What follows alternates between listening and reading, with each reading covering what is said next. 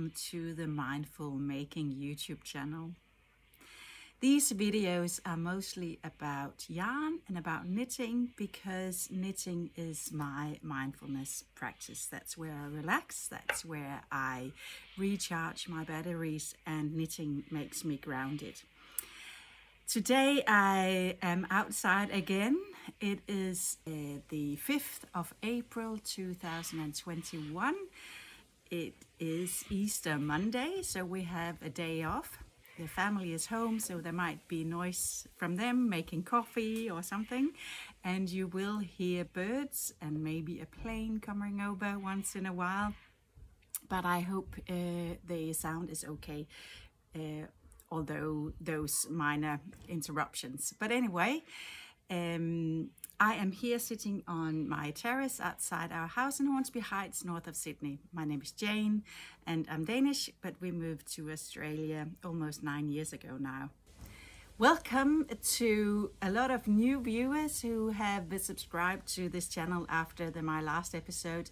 It's so good to have you here. I'm really thrilled that you found this little corner of the internet and uh, would like to follow my adventures into knitting. I hope you feel inspired. Uh, please um, put in comments of what you would like to see or hear more of or questions you might have. Um, that makes it so much more interesting for me to engage with you that way. So please do that. And I'm thrilled to have you here.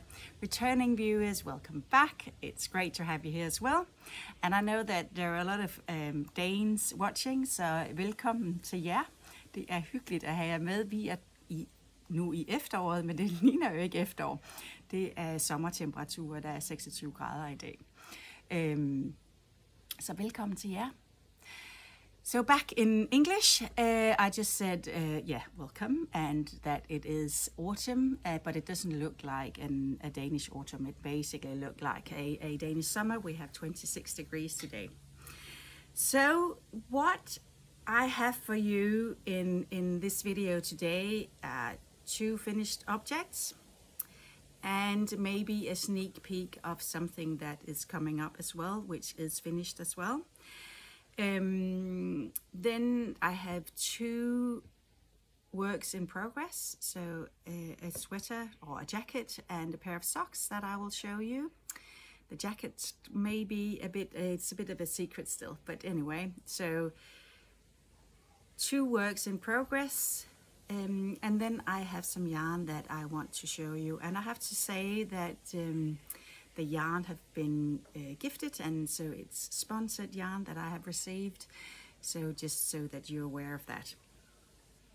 I hope you have a cup of coffee, cup of tea, glass of water, glass of wine and have your project. So uh, so let's uh, dig into it. I'll just uh, grab a, um, a bit of water. Where you can find me is um, I am Mindful Making on Instagram and on Facebook. On Ravelry, you can find me as Mindful Making AU. And I also have an Etsy shop of that name where you can find um, knitting patterns that I have designed. Uh, they are available in the Etsy shop and also on Ravelry. Starting with what I'm wearing, um, I am wearing the uh, ranunculus. that shouldn't be so hard. Ranunculus, um, it is worked in a silk tweed. It's a very old yarn, now discontinued, but it's a wool silk uh, blend from Drops Garn. And if I try to stand up, uh, there will be noise from the chair. So it's it's fairly cropped, um, but sort of uh, airy and light and three quarter sleeves. And now the noise of the chair again. Um, so I like to to wear it uh, in the in the summer. And I'm, I'm, I'm really happy with this one especially because it's so white and airy. I wonder if the details I put them up on Ravelry I hope so there is a backlog of latest projects that I haven't had the time to put up on Ravelry, so please excuse that. So that's what I'm wearing today. I finished this probably a couple of years ago. Um, so you could say, but why aren't you wearing the garden gate that we saw on the last uh, in the last episode? It's simply too warm. I would have worn it, um, but it's just too warm. But here it is. It is finished, so that's the uh, the first finished object of today. It's the Garden Gate sweater, designed by Jennifer Steingass. She is Knit Love Wool on Instagram. She is the, I think, the expert in um, round colored color work yoke knitting or styles. So here it is, finished and blocked.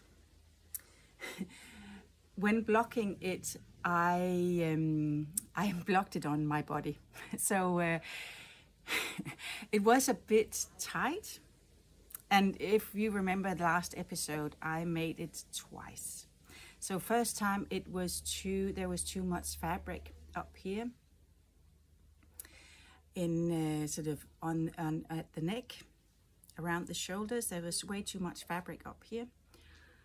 So I redid it and went down a size. So this is size C in her patterns. So I think that is a finished bust measurements around 40 um, 40 inches. And um, when done and I tried it on, it was slightly sort of uh, tight fitted. And uh, I washed it and instead of laying it flat to dry, I thought I would just uh, put it on. And then I pulled a bit in on the sleeves just to, to widen them a bit or stretch them a bit. Um, and it fits perfectly. What you can see when it's blocked on the body is that um, you can see my elbows here. so it's in, uh, it sits in a body shape. The yarn is the, um, it's a super soft 100% uh, lamb's wool and it's from Holst Garn. In the skein, which I have here, so these are the two colors that I used in the skein, it's uh, it can feel a bit coarse. There's a bit of that spinning, I was about to say spinning wheel left, and spin oil, spinning oil left, but that totally disappears and the yarn just blooms beautifully when it's washed and it gets very, very soft and lovely. It's soft and light. It's a... Oh, Astrid, I'm podcasting. Oh. Uh, that's all right. So, oh. Oh. Oh. What? What did I do? Yeah, it's a I woolen spun. Hopefully that I'm saying that correctly when the fibers is is um, is laying like this and it's not sort of in the same direction. That means that there the uh, spinning has a lot of air in it. So it's it's very it's very light. It weighs about 200 grams on a jumper, so it is very lightweight. Uh, so in this jumper I have used 1080 meters of yarn. And uh, sorry, I didn't mention the color names again. This is the iced, which I chose as my contrast color. This is called Sage Blue as the main color. So I used 170 gram of the main color and 35 grams of the uh, contrast color.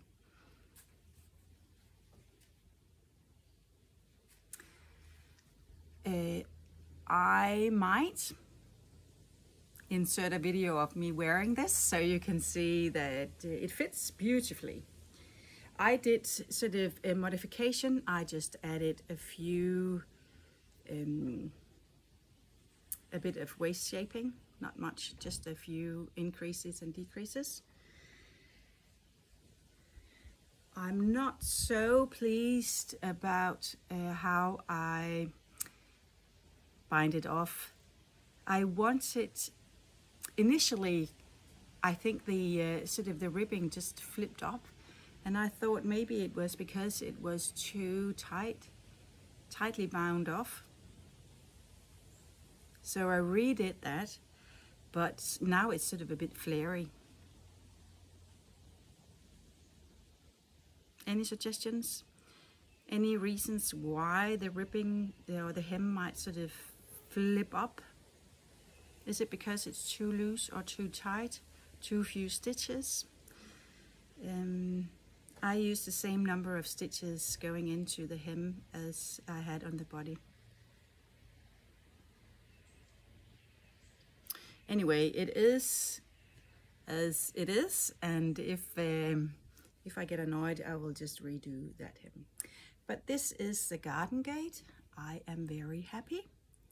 It will be an excellent uh, jumper to wear at the office and around uh, going for a walk uh, in, or going in the garden or just uh, out and about um, when winter comes.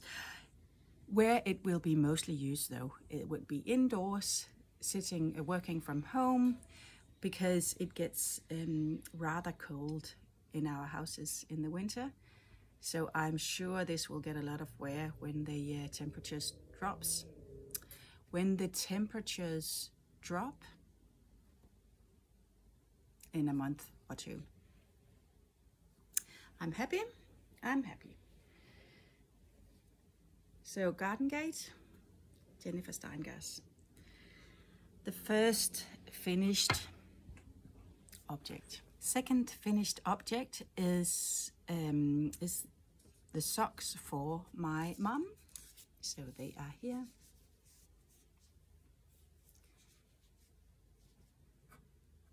So it's my regular go-to uh, two by two rib pattern. It's basically, and I, and I've said this before. It's inspired by my husband's grandmother, who always knitted socks that way, and it gives a, a nice um, tight fit around the leg and also over the foot. These are worked in Jawoll, uh, superwash yarn from Lang Yarns. And sorry, I can't remember the color numbers. I do have the labels, but it's color numbers. And now I didn't put the um, just a sample of the yarn on it, so I can't remember what color it is. But it's a light gray, mild, mild colorway. As you can see here, I ran out of yarn. But as I, I, I knitted them two at a time, so it was at the same point on both both socks so they are identical so I added in leftover of a, a lighter gray as well and with a darker gray and you know should be with all the numbers and details but sorry I don't have them. Uh, as the heel and toe. Like this. 64 stitches on a 2.25 millimeter needle. And it is a I think a size 40 so I just added a few I think an extra or two rows here for the heel just to give a bit more room around um, the ankle. So now that I've shown you these socks I can wrap them and send them off to my mom. Her birthday was the 1st of March. So they will be six weeks late. But um, she has seen them on uh, on an Instagram post, and she liked them. And I think, you know, she sits watching TV, and um, she can wear them with her feet up on her television when sitting in her TV chair. She turned 89 and she's doing well, so it's a pleasure to have knitted these for her. If I just look at the stats then for these So I started on the 14th of March, March and they were finished and off the needles on the 19th of March. Uh, I have used 60 gram of yarn for these, so 252 meters. With these two finished objects, that's also the status of my knitting in March. So down here I, uh, I have my knitting journal that I can refer to. And if I then go to the stats from March, two finished objects, which is not much. I felt that I've been knitting a lot, but I say that every time.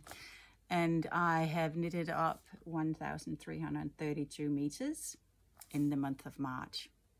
Yeah, I think there will be more in April. And as I said in the last episode, the meter of yarn used will be included in the month where the project is finished.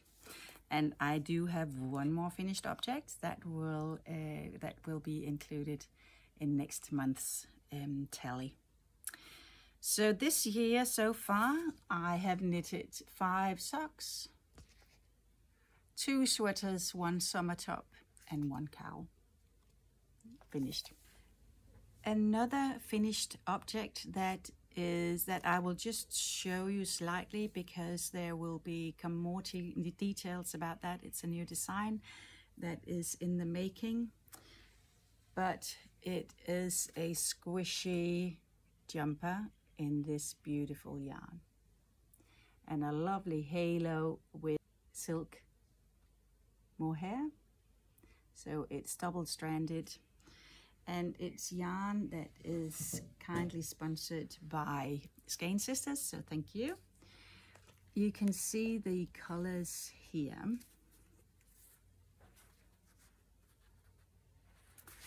So I finished that jumper on the 2nd of April, so that will be included in the tally for next month. Those were the finished objects in today's video, I will also insert a few snippets of um, what we've done in the Easter break because it is the Easter break. We haven't done very much. We've basically relaxed at home. Um, Friday we were exhausted basically. So uh, so so you know after a few very busy months, and we just needed to relax and recoup and Saturday I was as usual out out and about with my son for his football match. We drove 60 kilometers to his match and um, there will be a bit of footage from a walk that I did where we went so it's a new it's a way of of, of um, seeing new places in Sydney and surrounds um, so I enjoy that and then there are a bit of uh, from a bit of footage from the game. I um, I tried to video when there was a corner just to see if uh, if uh, a goal came, but none came that way. So uh, and I didn't get to film the the goal that that was scored. So they won one nil, which was very which was a delight. So you will see that. So while my son is warming up and preparing for his uh, football match, I have gone for a walk in a close by natural park uh, or national park setting. It is in Bonnyrigg and um, there are just people celebrating everywhere and I uh, have I've, I've just did a bit of footage and filming uh, of their setup, which I quite find quite amazing.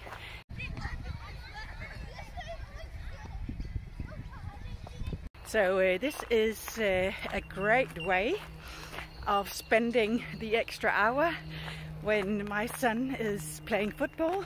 I get to go to all parts of Sydney. Today we travelled 60 kilometres to get here for his match. Uh, And as you can hear, I am a bit out of breath, to be honest. I haven't done much exercise the last few days. So, uh, so here I am on a um, just a three kilometer loop.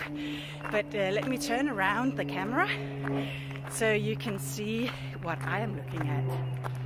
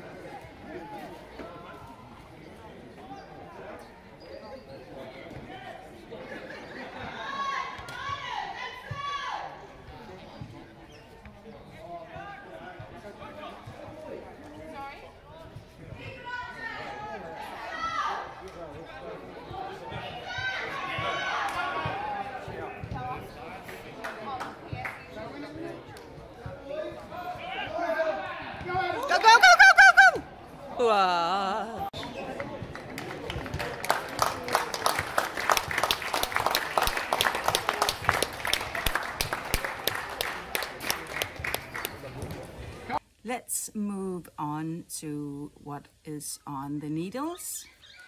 Um, I have another pair of socks and it's a very simple vanilla sock, plain stockinette, one by one ribbing, two at a time, magic loop. It is 64 stitches on a 2.25 millimeter. These are for my older son. He is planning on moving to Denmark, so um, I think I will sneak in a pair of mum's handmade socks into, into his suitcase. as a little surprise for him when he opens his suitcase. I don't know when he will leave though, probably in a couple of weeks time.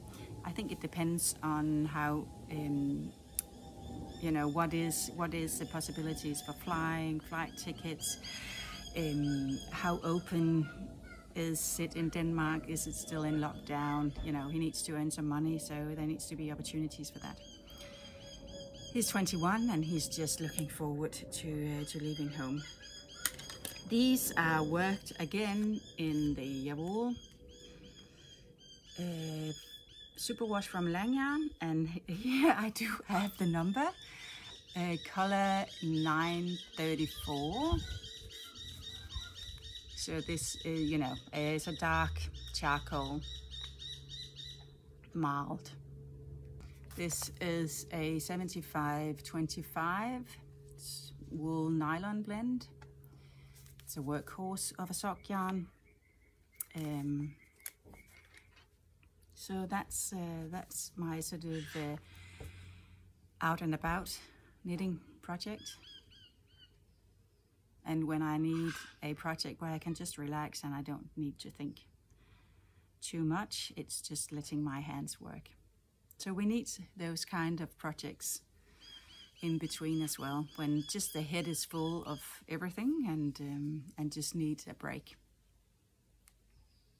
Two at a time, magic loop, uh, cuff to toe. Yeah, and uh, when I started these, I think by at the end of March, so I haven't worked sort of very um, I haven't been so focused on working on those. The last project on my needles is a bit of a secret. It's another design that I'm working on. I will share just the color of the yarn. It's in this color. It isn't available yet. Uh, it's a beautiful deep mustardy brown yellow. I've just cast it on yesterday and or oh, the day before, I think over Easter. And it, so I'm test knitting my own pattern and I did find a mistake, so that's, uh, that's excellent.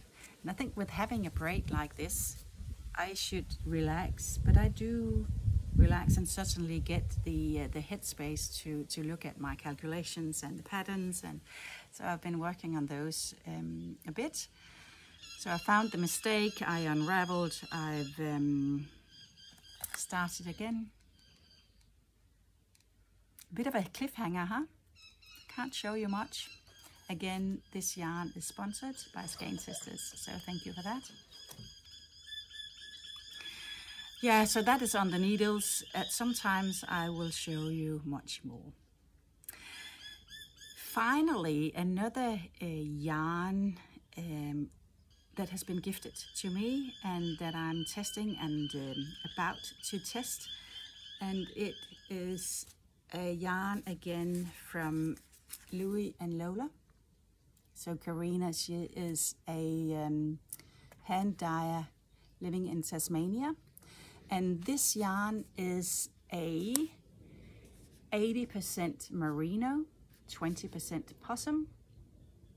It's a fingering weight, uh, 390 meters, 426 yards in 100 gram. The color is called Ruby. And I know that she just launched these yarns at the uh, end of March. These two as I said, has been gifted. I have to say this, I think, you know, so it's a sponsored um, yarn that I could test out. And I have plans with these two.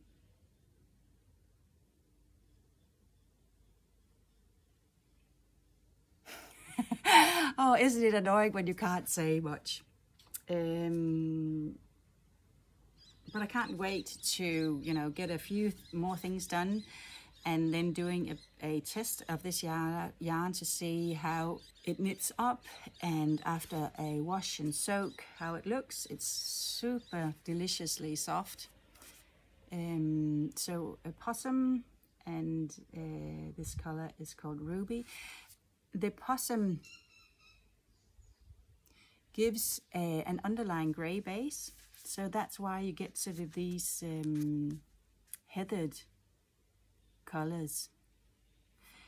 Karina has many more uh, colors on her website, so you can go and have a look. There were grays and greens and browns, and uh, I think they they uh, they were quite popular when she had them on at the I think the 27th of March. Then she might be dying up some more. But I'm looking very much forward to try out these lovely skeins of merino possum fingering weight fingering. I think that was it for the knitting content. Pretty quick and sharp. Then uh, I will just grab the socks and we could have a sort of a knit chat and I'll tell you a bit of what has happened and plans for the future and so in uh, March if just doing a bit of status so thank you so much for uh, supporting the birthday sale of patterns um, yeah in celebration of my birthday the 7th of March. Thank you for that. I'm looking forward to seeing all those uh, beautiful projects out there uh, the Solidago shawl was most popular this time around. So I'm looking very much forward to seeing those as finished object and in progress for that matter. Uh, in April, in April, the 21st of April, I will be hosting a knit night at the Danish Church in Pennant Hills.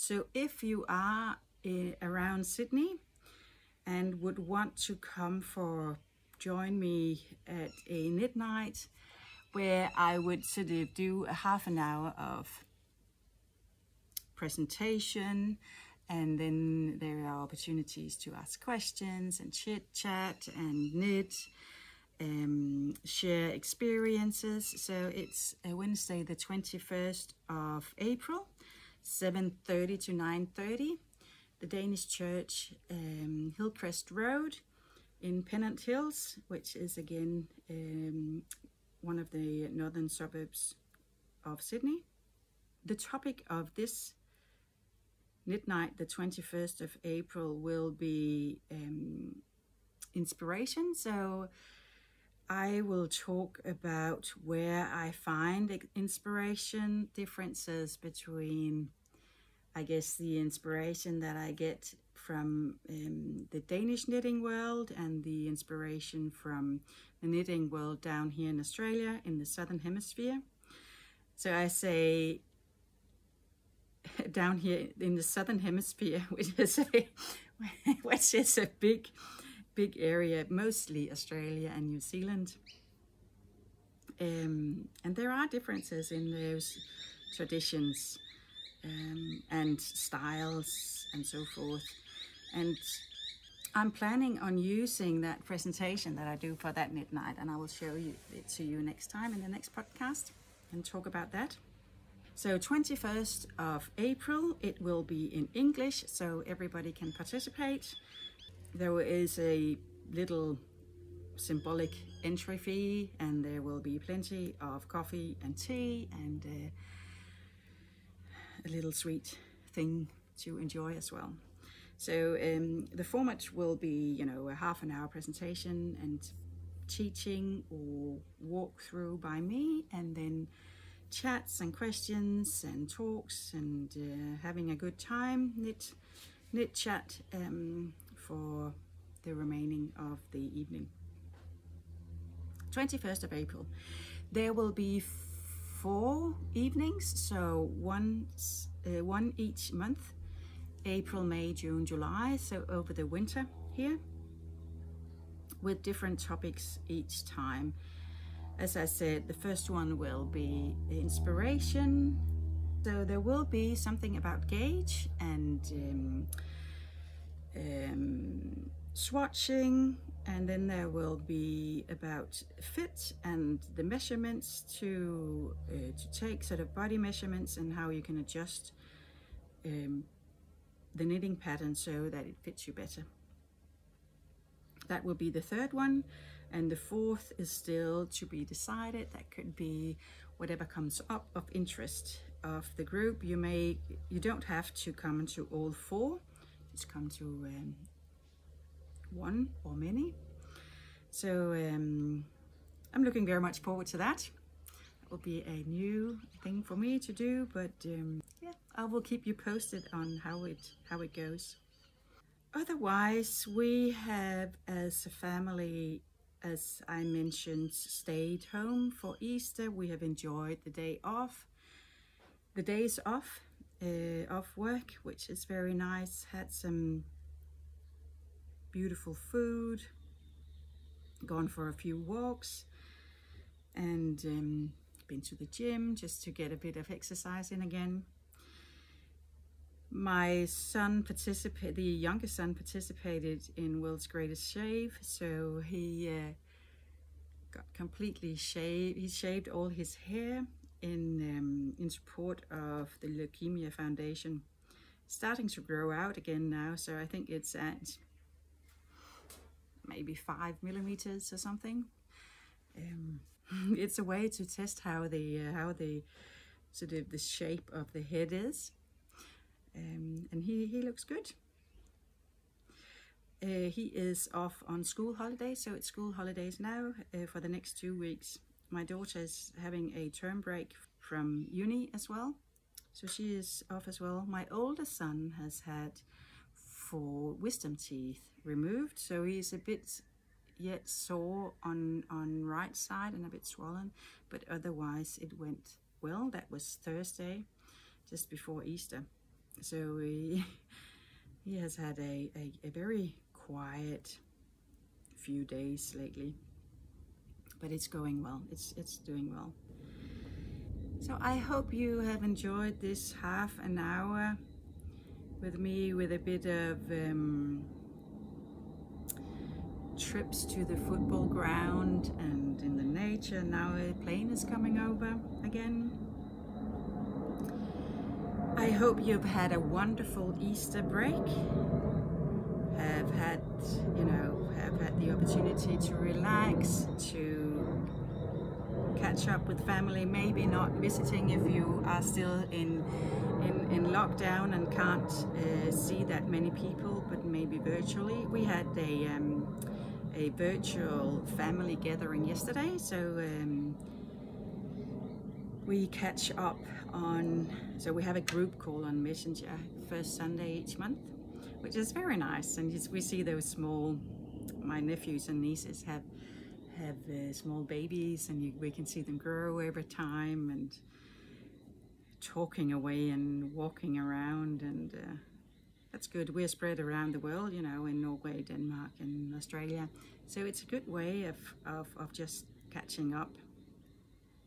What have inspired me lately over the last month, I've watched some new podcasts and videos um, sort of on YouTube I like Sar, Sari Knits, which is Sari Norman, Norman, Sari Norman, a knitwear, Finnish knitwear designer. She um, designs beautiful um, patterns.